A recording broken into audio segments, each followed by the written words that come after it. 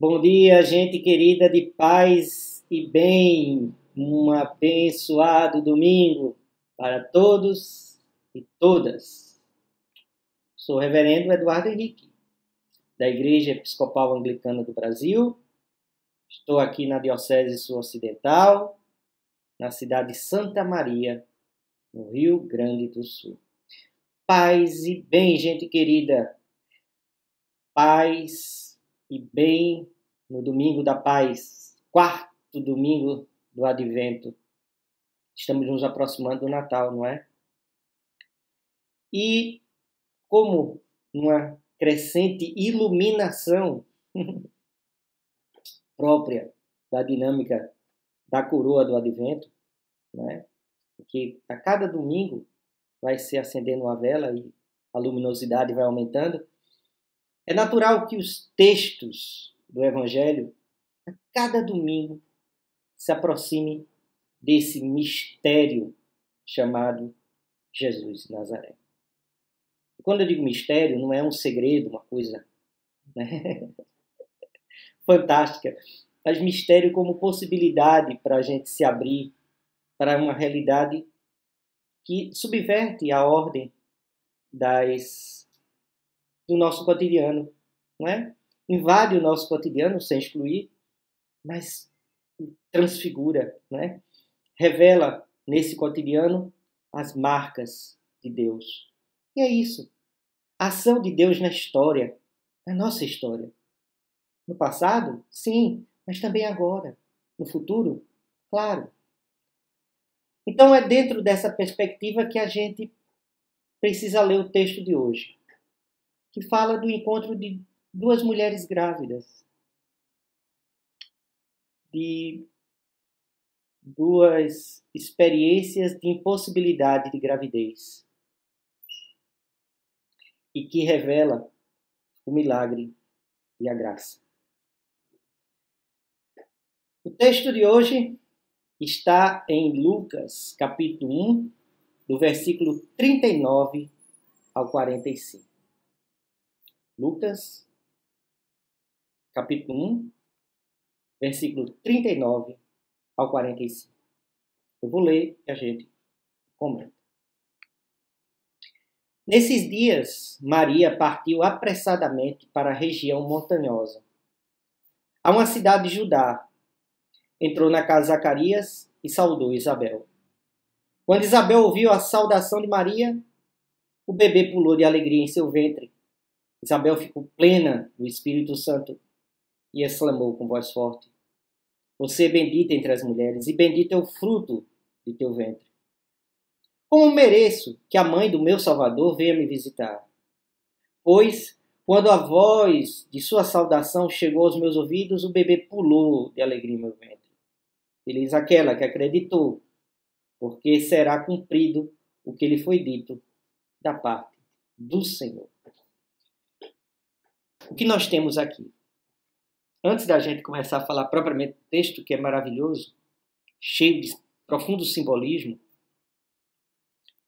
a gente vê que esse trecho está dentro de dois, duas perícopes, dois trechos extremamente graciosos, extremamente belos, fantásticos. Textos que parece que esse texto cria uma moldura dos dois do anterior e do posterior. Qual é o texto imediatamente anterior a este? É o anúncio é o anúncio do anjo Gabriel a Maria, que ela seria mãe do Salvador. Qual é o texto posterior? É o Cântico de Maria. Então, a gente precisa ver que esses textos aqui são próprios né, do nascimento, do textos que relatam Lucas se detém e, e só tem aqui, no sentido de um relato dessa, dessa ação de Deus na história de Maria, mas na nossa história. Esse texto do encontro entre Isabel, que era prima de Maria, e Maria, se ilumina de um significado profundo.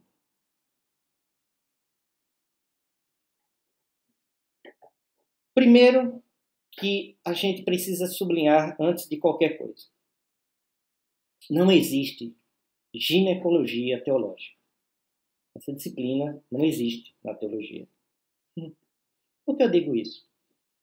Porque, por vezes, não é, ao longo do tempo, é, se discute a virgindade de Maria, se permanente, se ela foi sempre virgem, eternamente virgem ou não, e, e parece que isso atrapalha não é? uma compreensão profunda do significado da virgindade. Quando se coloca essa dimensão da virgindade, aqui, o único sentido, o sentido aqui, é dizer que a ação de Deus é graça. É vontade dele. Pegar uma, uma, uma menina, não é? Adolescente, a gente diria hoje, não é? Prometida em casamento, pegar essa menina, escolher essa menina e agir por gratuidade dele. A gravidez é uma ação humana. Deus não quer romper isso. Deus reconhece isso. O que está dizendo aqui é que essa gravidez é fruto da graça de Deus. Somente isso. Do improvável, daquilo que é, uma, né, é um espaço onde não nasceria uma criança, nasceu. E com isso, por vontade, por ação de Deus, Jesus se fez no ventre de Maria. Só gratuidade, graça, ação de Deus, unilateral, vamos dizer assim. Não é? Do outro lado, o que é Isabel? Isabel é uma mulher idosa. Né? E sendo idosa, ainda mais, né? hoje, hoje a, as mulheres têm possibilidade de fazer enriquecimento hormonal, tratamentos e tal, para mesmo né, idosas poderem gerar filhos. Mas estamos falando aqui na Palestina, não é? Na Palestina, no século I. Então, assim, essa, essa mulher idosa, assim como uma espécie né, de, de nova é, Sara, mulher de Abraão, ela gera uma criança. Assim como Zacarias aparece como uma espécie de novo Abraão, não é? Jesus, um novo Moisés. Vejam as correlações né, possíveis que a gente pode estabelecer. Então, essa mulher, né, Isabel, gerou uma criança. E é dentro desse improvável da lógica humana, o, das análises de conjuntura, que rompe completamente é, a lógica dos dominadores, dos donos do poder, dos impérios. Uma mulher de periferia, uma mulher pobre, um adolescente. O que esperar de uma pessoa assim? Para essa ordem de valores que temos? Nada. Pois essa mulher, ela é aquela que gera em seu ventre o Salvador do mundo. E essa mulher que gera o Salvador do mundo deveria, sabendo que vai gerar o Salvador do mundo, querer que ela fosse adorada, não é? que ela fosse venerada, que ela fosse exaltada, não é? Mas essa mulher, ela faz o quê? Ela vai ao encontro do trabalho, do serviço, da ajuda, do cuidado com outra mulher grávida. Uma mulher grávida cuidando de outra mulher grávida. E ela vai para a região montanhosa. E aí a gente vai ver que o caminho talvez não seja né, um caminho plano, um caminho íngreme, pois essa mulher que carregava dentro de si o Salvador caminha em direção a essa outra mulher, também grávida. E ao encontro dessas barrigas, desses corações barriga, né? Esses úteros que estão, que são coração, o encontro faz com que a empatia né, dessa mulher, Isabel, faça com que essa criança, João, vibre no ventre. Porque é um reconhecimento de ânimas, de almas. Há um reconhecimento da força do Espírito, de destinos, de histórias de mistérios. Então, desde o ventre materno, eu te conheci. Desde o ventre materno, né? eu te escolhi para ser profeta entre as nações. Esse é um texto está lá no livro de Jeremias, da fala de Deus em relação a Jeremias. E é isso também que aqui parece haver, não é? o encontro dessas duas mulheres grávidas, dessas mulheres prenhas de esperançar. O que é que ela diz? Ela diz um texto consagrado na oração da Ave Maria, né? Quando diz: Bendita é entre as mulheres e bendito é o fruto do teu ventre. Como mereço a mãe, que a mãe do meu Salvador venha me visitar. Seria o contrário. Pois quando a voz de sua saudação chegou aos meus ouvidos, Maria chamando Isabel, né? O bebê pulou de alegria em meu ventre. Feliz aquela que acreditou, porque será cumprido o que lhe foi lhe dito por parte do Senhor. Bendita seja você porque acreditou. Acreditou no improvável acreditou no imponderável. Acreditou nisso que é milagre. Milagre o quê, gente? É algo fantástico? Milagre é diante de tanta investida do inimigo do projeto de Deus, Deus se fazer presente na história. É de tantos falsos messias pregando violência e ódio, as pessoas ainda se encherem de alegria e de esperança na luta e na busca por um mundo melhor. Milagre é termos cada dia coragem de lutar contra o adverso da vida. Alegria do milagre. Alegria que faz a gente vibrar. Vibrar, volto a dizer, em nossa nosso coração útero. O menino. O esperançar. Essas dimensões que aqui se encontram. Se, volto a dizer, é uma crescente. O Natal está ali na esquina. Está né? Tá próximo. Menos de uma semana.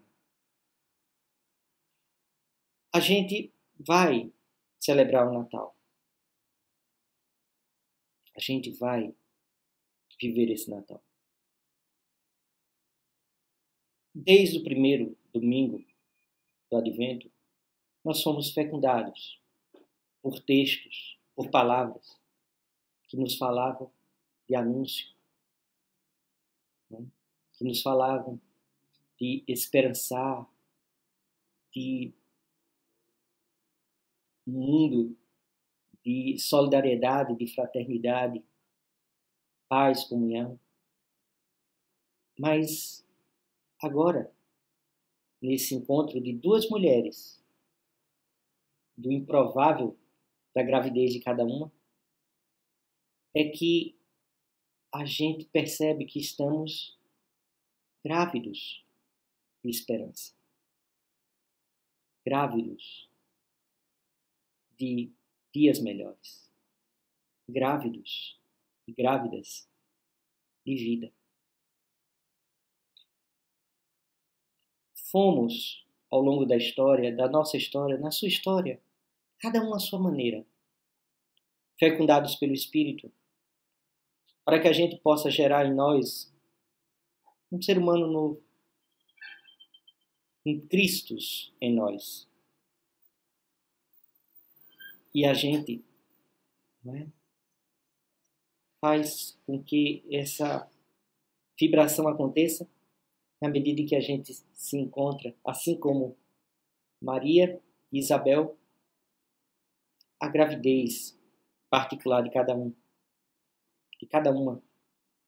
E desse, desse encontro, a gente possa dizer um para o outro: Bendito e bendita é você. Bendita é você, mulher. Bendita é você, homem. Bendito é você como pessoa humana na sua dignidade. Porque acreditou nas promessas do Senhor. E as promessas do Senhor não são promessas de prosperidade, de riqueza, não é? de glória.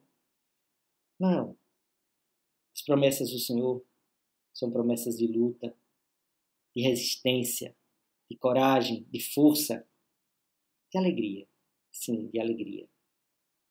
Apesar de tantas notícias em contrário, os pequenos milagres da vida, de verdade, para além do pieguismo, a gente encontrar Deus conosco. Emmanuel. Que tenhamos, não é? Um quarto domingo do Advento abençoado. Que a gente possa se sentir verdadeiramente grávidos e grávidas do Espírito de Deus. Cheios né, da força do Espírito. Que a gente se prepare para o Natal. O Natal está aí.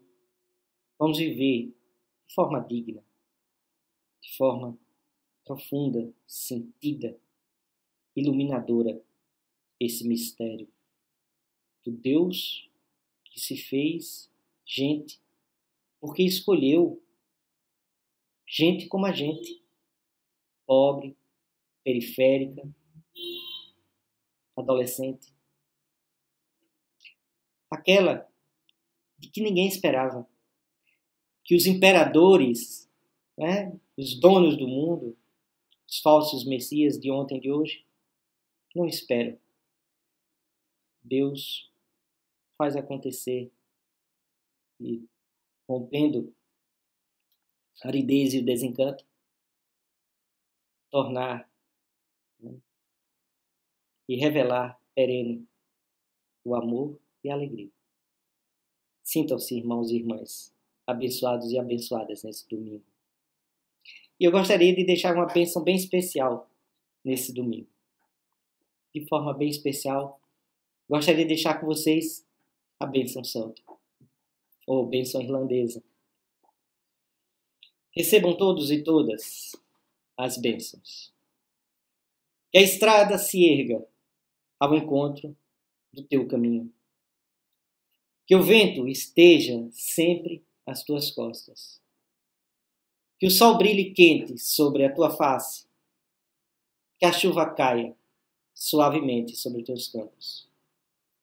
E até que nos encontremos de novo, que Deus o guarde, aguarde na palma da sua mão. E as bênçãos de Deus, Pai, Filho e Espírito Santo, sejam conosco, hoje e para sempre. Amém. Que assim seja. Nos encontramos às 21 horas no círculo de oração aqui no ofício ao fim do dia. Feliz Natal, gente querida. Feliz Natal. Próximo domingo, primeiro domingo depois do Natal, a gente se encontra. Tchau, gente querida de paz e bem. Tchau.